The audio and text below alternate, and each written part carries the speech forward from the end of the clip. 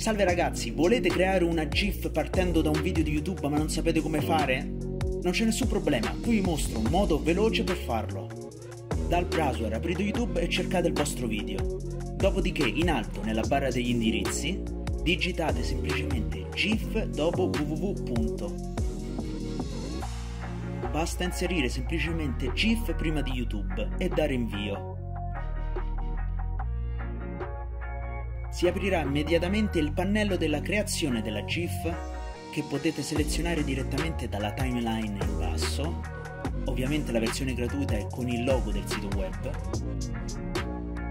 Clicca su Crea GIF in alto a destra, inserisci descrizione, tag, se vuoi che sia riprodotto il suono e se impostare la GIF appena creata, pubblica o privata. Non ti resta che cliccare su Next e inviarla a chi vuoi tu.